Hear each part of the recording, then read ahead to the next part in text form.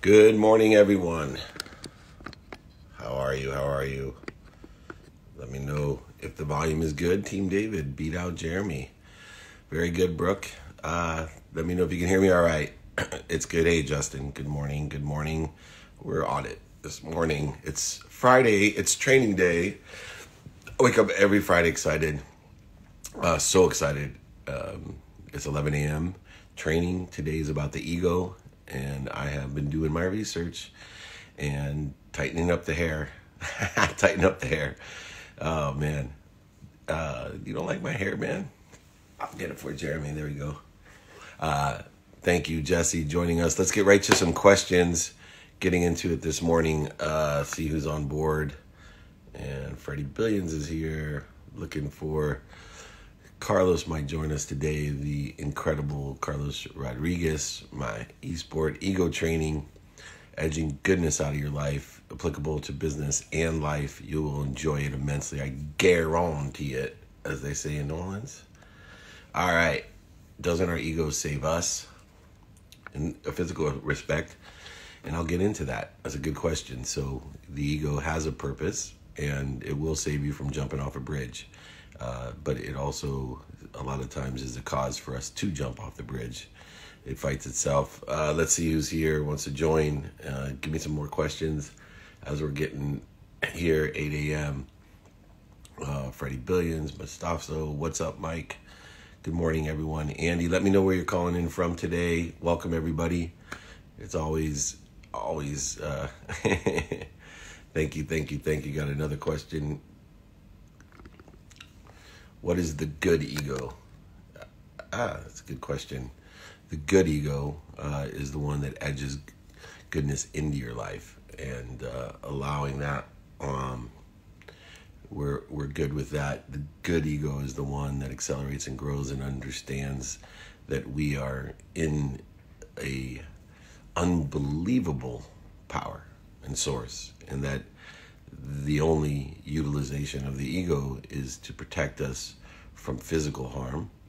So f- make sure we're fed, make sure we're not killed, make sure that uh, we understand physical fear and, and diminished capacity for our embodiment, uh, and be able to separate that from the mind and of course the soul. Canada's in the house, England's in the house, South Africa's in the house, SoCal is here as well.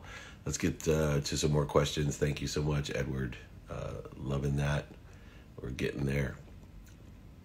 Uh, the Dark Night of the Soul. That was Blaine Bartlett.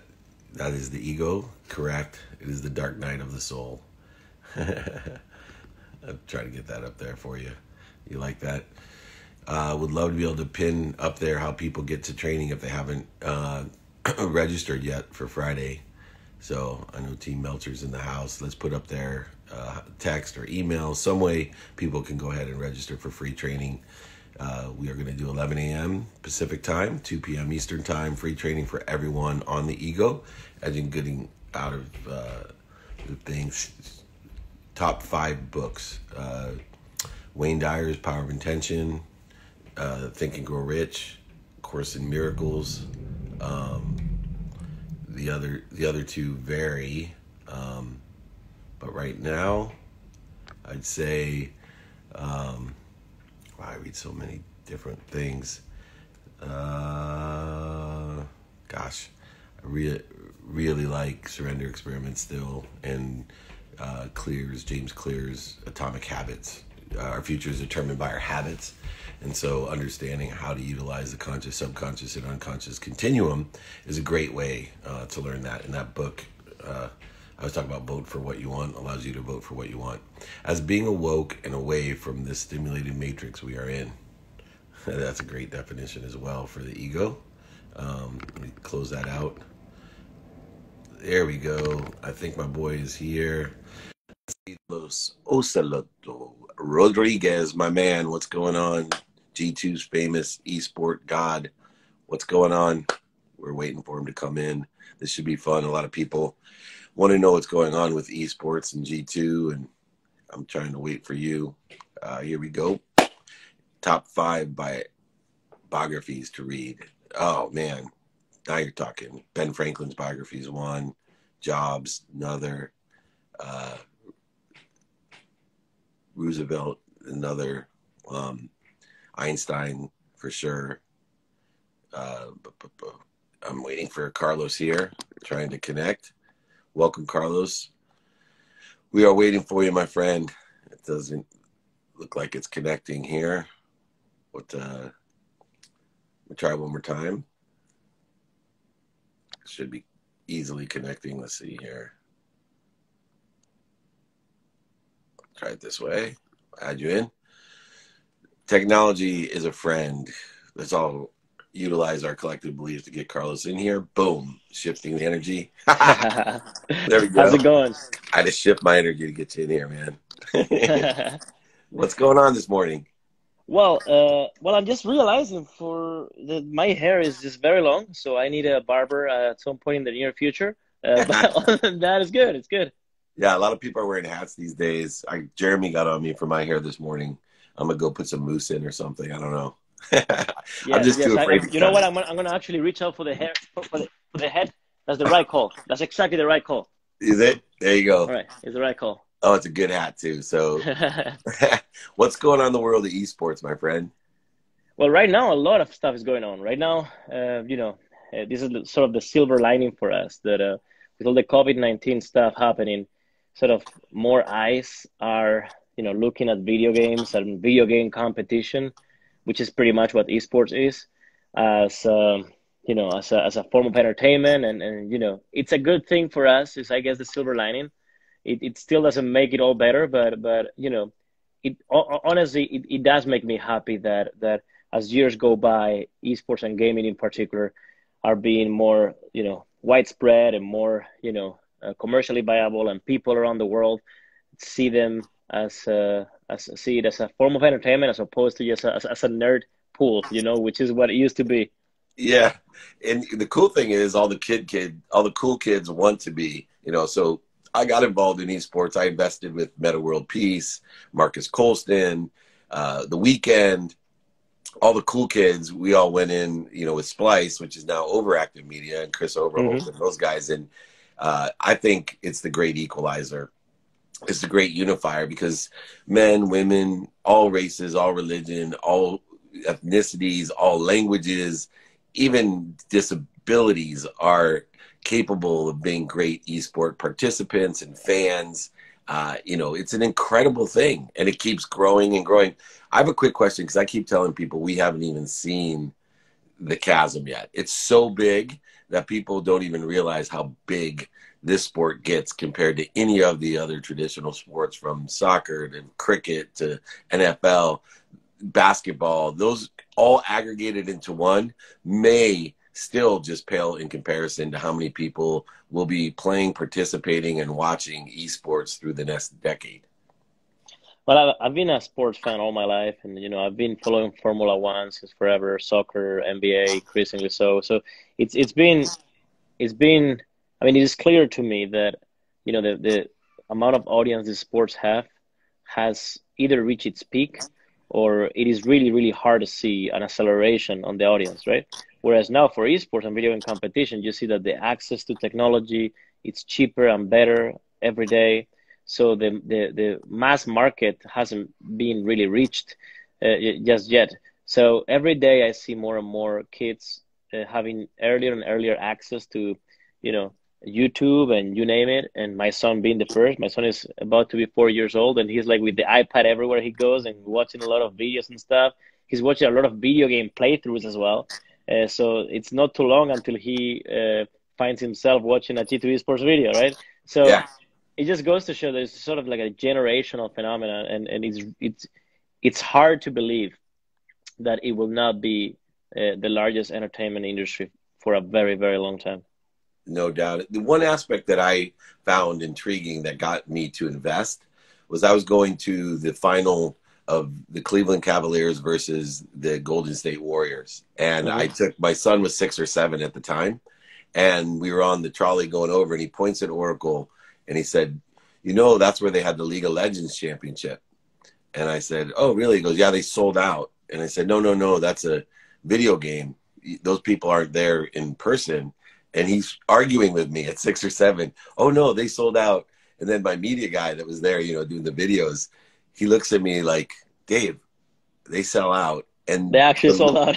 yeah, the the aspect though, the live aspect that people would fill arenas, you know, is incomprehensible to so many people. The traditional sports media, traditional sports owners, still not.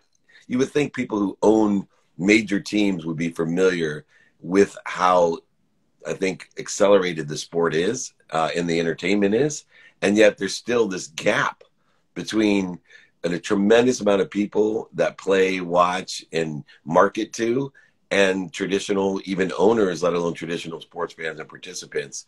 Um, why? In what aspect is it that live? You know, people want to watch people play video games live. Well, I guess it's the level of you know interaction with the moment right? If you watch something as a video on demand you there's no empathy with the rest of the people watching. I feel like when you watch something live what makes it what it makes it special among other reasons is that you know that there's millions of people around the world feeling the same emotions you're feeling. And that emo- and that empathetic feeling i think is what creates the difference between watching live and not. That's why it happens to me very often that i just want to chill during the during the evening, and and I rarely watch video on demand. I watch something live because I want to feel a part of a group. I want to feel um, like I read things. I want to feel like like a give and take, like a, like a life give and take, right? And and and I don't think that, and I think same same story. Why would people watch TV? They they know that many other people are watching TV at that, at that very moment, and it sort of makes you feel in sync with the moment and comfortable, you know yeah i think there's a oneness to it right? That when we're watching it live that we're all connected to each other like you said energy and motion emotionally. Uh, you know i do a lot of business coaching and i had a restaurateur and i told him the exact same thing. I said you know if i was uber or lyft or you know grubhub or uber eats or even an individual franchise restaurant i would have you know like chipotle taco tuesday night and i would have live you know everyone delivered the food and you know on this big webinar just eating together because they're sharing the same food. There's that emotional aspect that you're yep.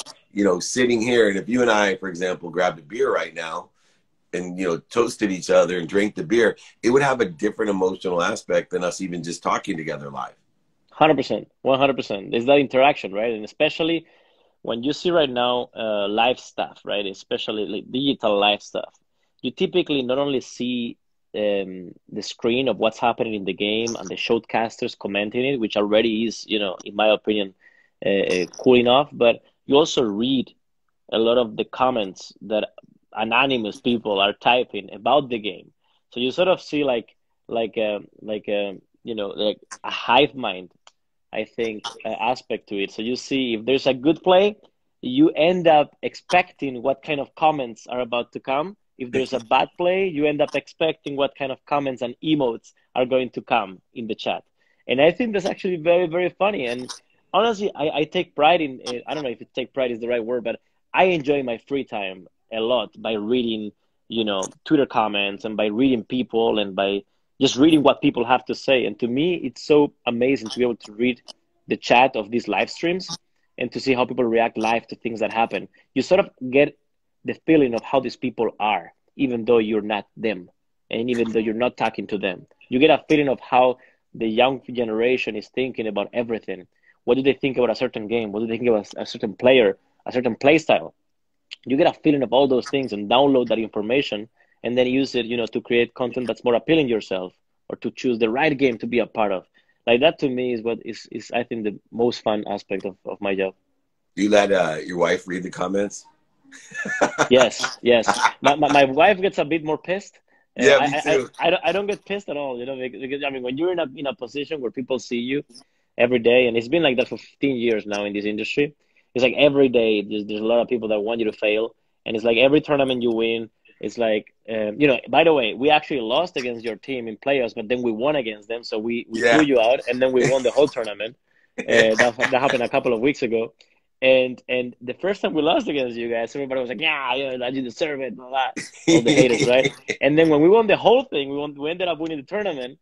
then you say, yeah, but the next one you'll get destroyed. It's been I, like that for like 15 years. So that's why I didn't bring it up. That. That's why I didn't bring it up because I knew if I brought up the win, you'd be like, ah, who won the tournament?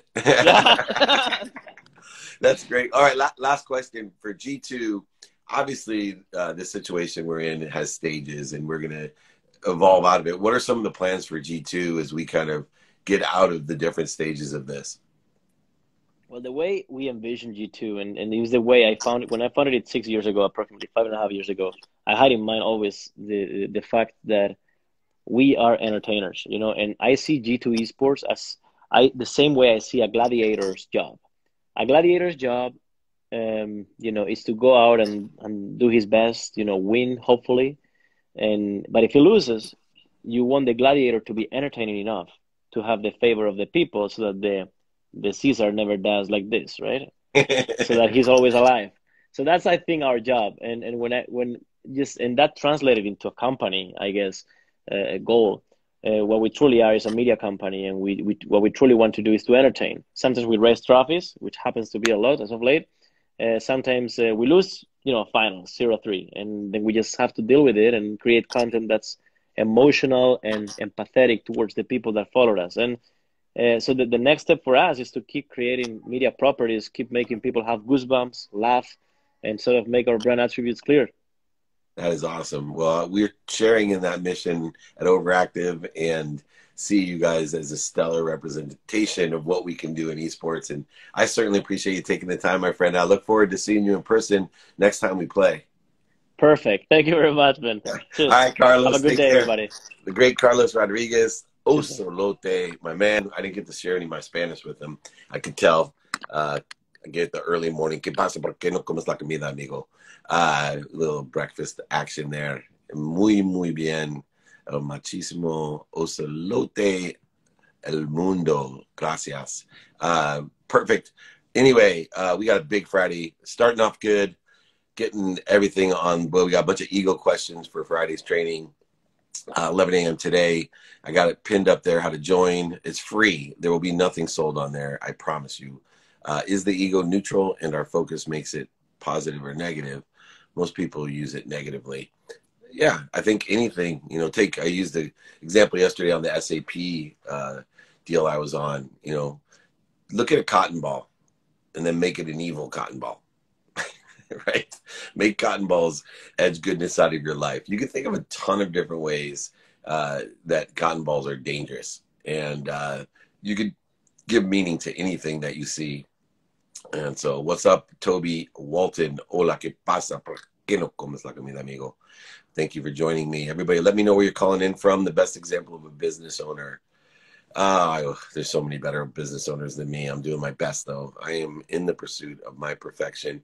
We got a special series uh, coming up, by the way, at 8:30 today.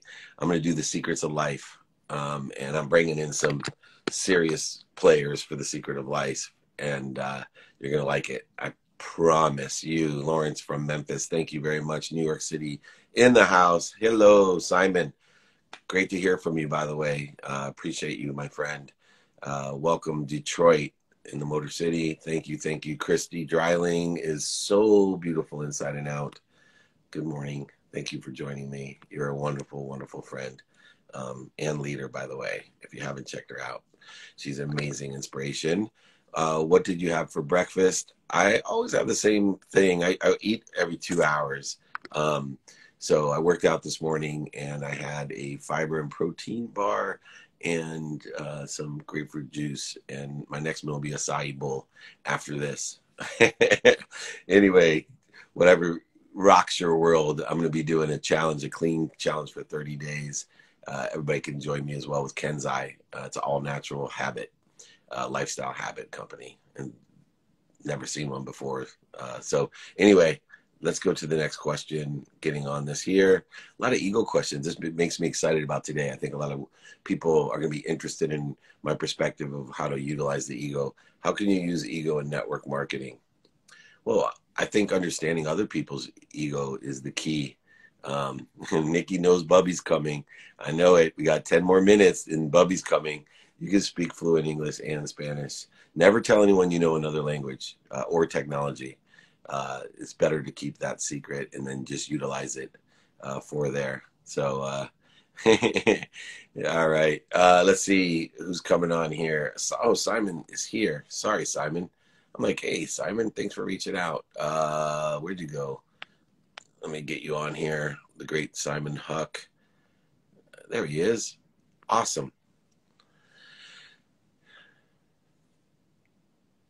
Let's grab him here. I'm really interested in talking to Simon. He does emergency kits, and I'm curious. There he is. Hey, David. Hey, buddy. How are you? How you doing? I'm waking up. I had a. I'm good. good, good. Where are you? I'm in New York City. Oh, of course.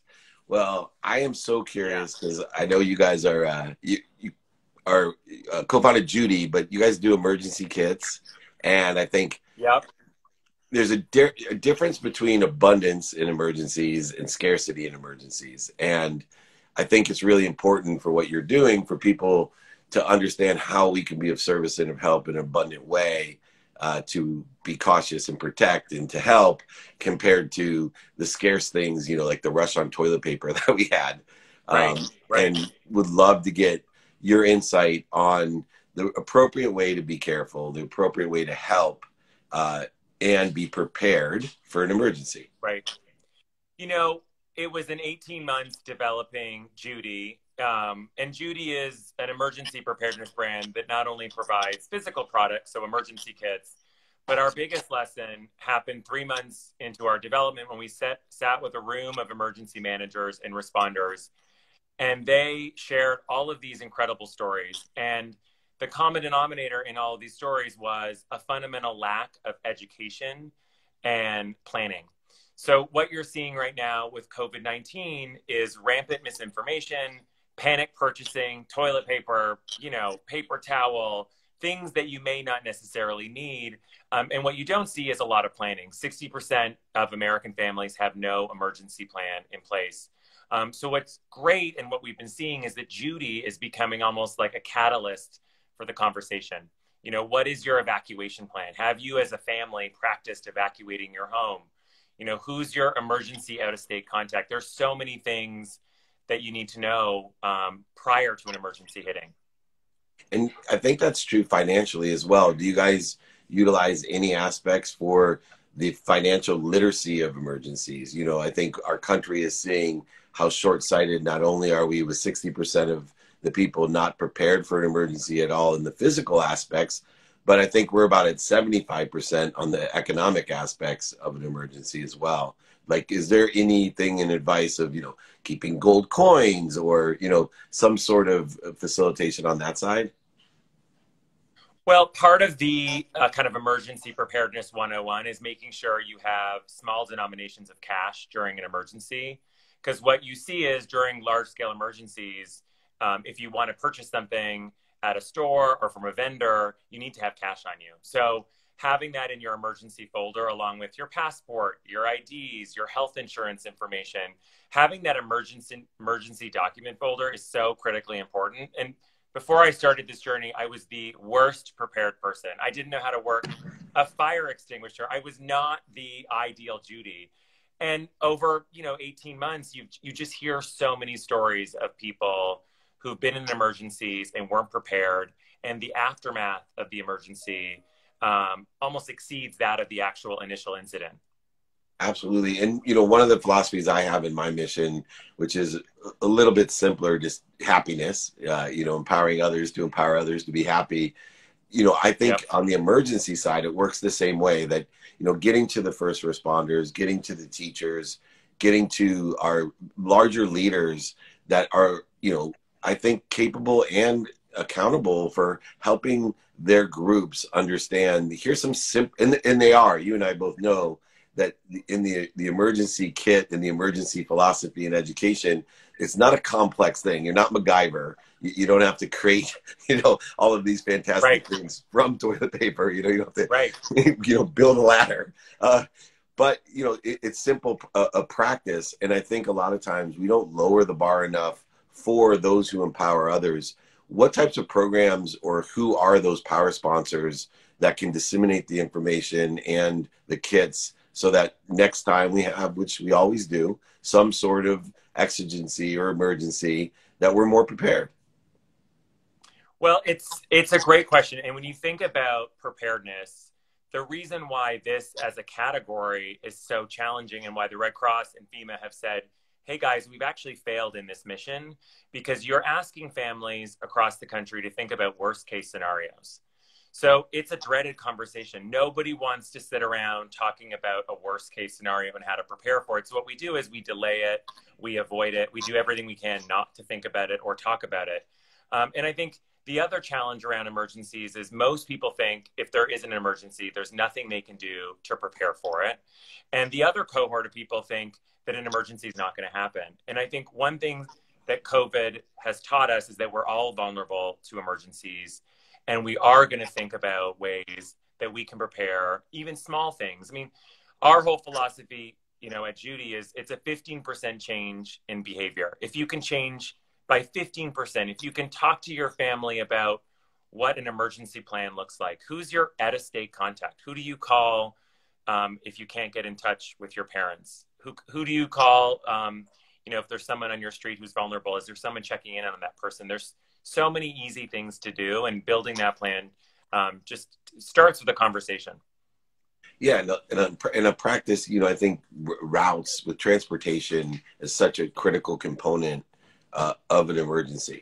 You know, just having the knowledge of where to go if something happens, beyond even who who to call. I, you know, I take it a step farther. I always like to have an electric and a gas uh, vehicle you know, because right.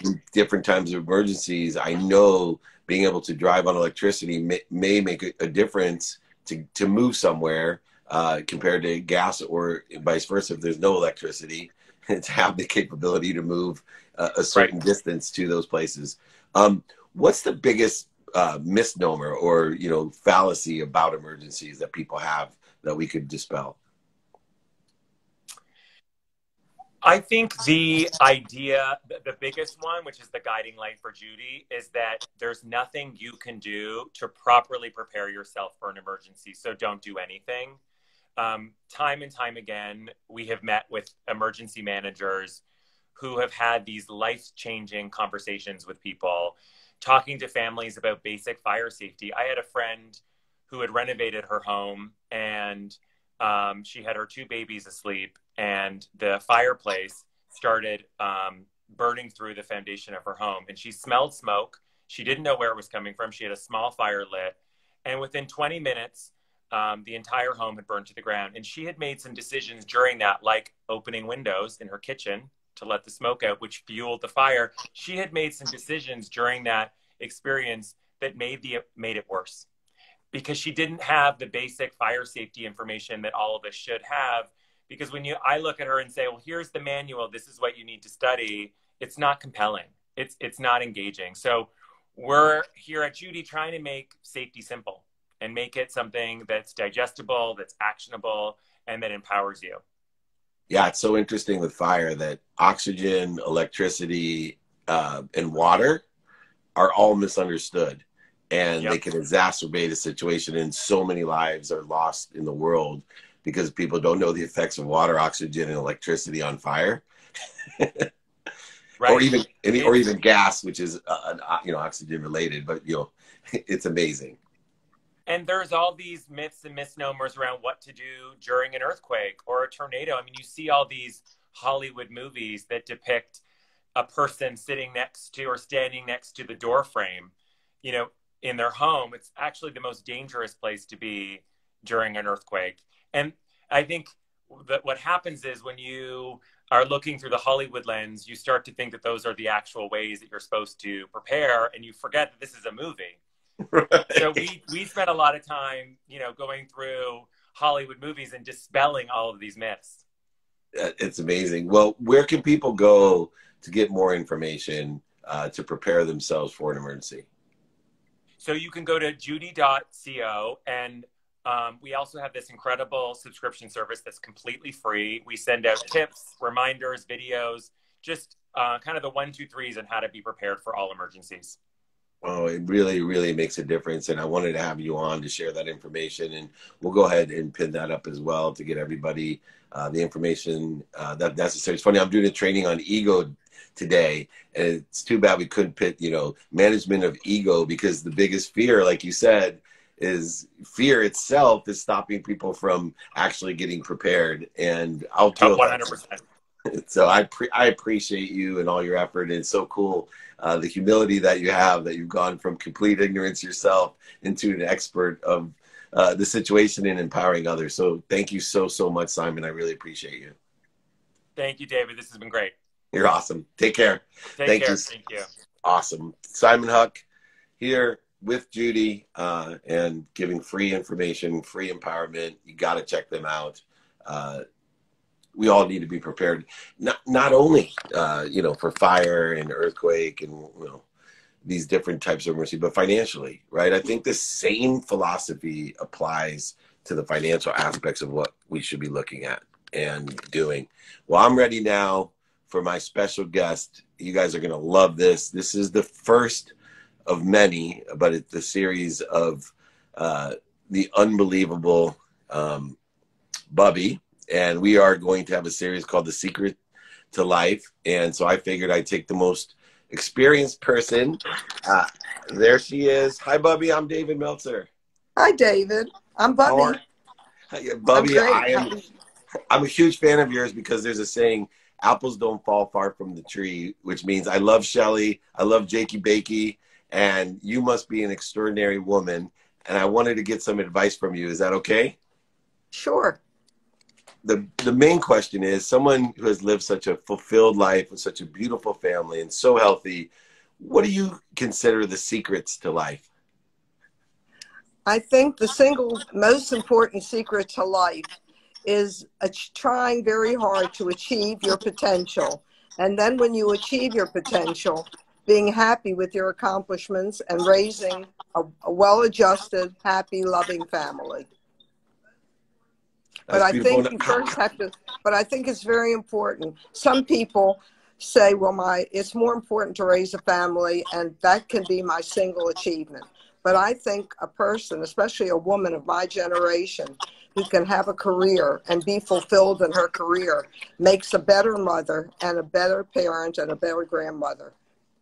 Well, I can see that in your family, especially. Do you today? There's so much fear and uncertainty, and you've lived through a, a lot of different circumstances where people are afraid, accelerated change. What are some of the piece of advice that you give to people during this time of the COVID and, and so many people are so afraid? I think there's good reason to be afraid. I think anybody who says they're not afraid is gilding the lily and is not being honest. I'm afraid. We're all afraid. We're afraid will the economy bounce back? Will our loved ones be well? That's our number one fear. God forbid someone we love or someone we know. I have friends who have already died from COVID. So it's frightening, especially to people of my generation who are the most vulnerable. But I've lived through so much World War II with the Nazis obliterating six million Jewish people. And we bounced back. And I look at these survivors and how they they survived and they I mean you can't compare economic fallout to extermination of six million people. And the fact that they went on, they married again, even after losing wives and children. They built new families, they built careers, and by and large, they adapted and were successful and they lived through this. And I think there's no greater testament than and and veterans who lived through World War II who were not Holocaust survivors, people who lost their lives and yet came back and their families rebuilt. And I think we'll get through this. This is devastating in terms of health, in terms of the economy, but we'll get through it. And we're going to, life will never be the same again. I think as it was never the same again uh, at the thought of the, and we just celebrated Yom HaShoah, the, the loss of so many, six million Jews. And life was never the same again for any of us, but we'll get through it. And if we learn from it, we'll be stronger. And do you have a favorite saying or a favorite life lesson that you can share with us? Well, I think that in raising a family, it's very important to give your children a sense of confidence. Tell them they're wonderful, encourage them. I also believe very much in sports as a way for children to learn how to live, that they learn how to compete, they learn how to lose, and they learn how to win. But I remember once one of my granddaughters came back and the um, coach said to her, it told all the kids, it doesn't matter if you win or lose, it's how you play the game. I don't buy that philosophy. So I said to her, go back and tell your coach if it doesn't matter who wins or lose, why do they keep score? I love that. I love that. And you, I've been told, are a huge NFL fan, quite knowledgeable. Who's your favorite team? Well, when I was growing up, I had the Colts. That was in the 1950s. The Baltimore course, Colts. The Baltimore Colts. I'm from Baltimore. And of course, Johnny Unitas was an incredible, an incredible quarterback. And the Baltimore Colts had the fearsome four, Deacon Jones and that whole group that were incredible. And now I love Aaron Rodgers. First of all, I think he's hot. Old lady thinks I'm friends hot. with Danica. I'm friends with but Danica. I'm a teller. I think I think he's a great quarterback, and um, I I really like him. I think Patrick Mahomes is amazing. The way he engineers these comebacks. I mean, he looks so awkward when he's playing and passing the ball and the way he walks, but he's just a phenomenon. And of course, Brady is a great quarterback, but he was surrounded by a great team. You know, once he didn't have Gronkowski and some of these other people last year, it was harder for him to win the Super Bowl, which of course he didn't win. What an exciting game that was, by the way. So I love football. I think it's a great sport. I love watching it with my children and my grandchildren, especially Jakey Bakey. So what can I tell you? Well, I am a huge Jakey Bakey fan. Uh, you should be. And he is an incredible young man. And like I say, apples don't fall far from the tree. When this is all over, you and I will have to go to a game, hopefully a Colts Chargers game, maybe, and we'll see Philip Rivers in his return to the Colts against my Chargers and see what goes on there. Uh, any predictions? Last thing, any predictions? Who's going to win the Super Bowl this year? I think probably Mahomes will take his team to the Super Bowl again. Oh, back to back, Kansas City. It could be the 2020s. I think, I think not, so. I think, I think Vegas so. agrees with you as well. I do. Well, I didn't Bobby, know I, that Vegas said that. Yeah, I said I wasn't aware that Vegas had already predicted that. So there you go. Are you a big gambler? Maybe we'll put a bet no, on it. No, my yeah. late husband was a big gambler. He loved Las Vegas. I'm not a gambler. Uh, I love Las Vegas, but I'm not a gambler anymore either. And uh, but I am a big fan of you, your family, and I'm so grateful that you took the time to share your wisdom with us. You're the very first in my Secret to Life series, so I started with the Mahomes of wisdom. So thank you so much. Thank you for having me. Have a good day. Thank you. Take care, Bubby. Bye bye. Bye bye. Wow. So we're going to start this series uh, and start it right.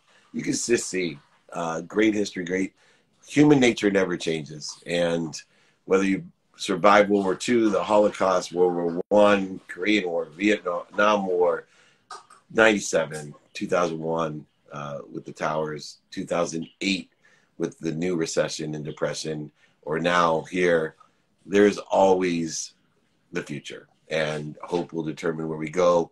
It's managing the ego. And that's where we are going. Let's answer some questions. Don't forget today, 11 a.m. Pacific time. We are on it um, with Ego.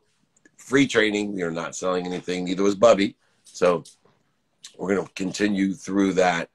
Uh, he trained people. Yes, he does. Sorry about that. Let's get to the next question. We're getting through here. Dave, it's Justin. I see that. What's up, brother? Hope you're doing well. I'm enjoying the natural habit. All right. Thank you, Justin. You're a great man. We'll see you at training as well. We got some great comments in here. Um, this is a good one. I need someone like you to talk with my dad. You know, someone else talking to your dad's not going to help. And where you have to start in talking to your relatives that may not be aligned with you um, is understanding. And the best thing you can say to your dad or your parents is, hey, I'd like to understand where you're coming from. I'd like to understand what lesson you're trying to teach me. I'd like to understand what your goals, objectives are for me. And I appreciate that you have those. but I'm going to vote for what I want. And I'm going to live and learn from what you and other people uh, are helping me with. But in the end, I'm going to vote for what I want and I'm going to learn the lessons as they come. And if they result in pain, physical, mental, emotional, or spiritual pain, I'm going to have to deal with that and realize I still got a lesson to learn. And if in turn, a year from now, or 10 years from now, or 30 years from now, I have to give myself forgiveness for not learning the lesson that you tried to give me, then so be it. But most importantly, uh, to especially your parents, uh, I'm happy, I'm healthy, I love you and appreciate you. Those are the four things that we want to share. I appreciate everybody today joining me. We got a big, big day ahead of us. Please, everybody, join me for free training. Invite your friends, family, associates. We're trying to create a collective consciousness of happiness, the most powerful disease, virus ever that's shared by witnessing. Happiness also strengthens your immune system and unites all of us together in a shared emotional aspect. So, thank you. Thank you for joining me this morning. I'll see you in about two hours and 19 minutes on the free training. Uh, my number is below 949 298 2905 or email me at david at dmeltzer.com and we can register you quickly for the free training today and every Friday at 11 a.m. Pacific time. Everybody, thank you, Bubby. Thank you, Carlos. Thank you, Simon. Appreciate everyone's time, everyone for joining me and having those great questions as well. We do this every day and for good reasons because we are going to be kind to our future self and do good deeds. Have a wonderful day. See you in a couple hours.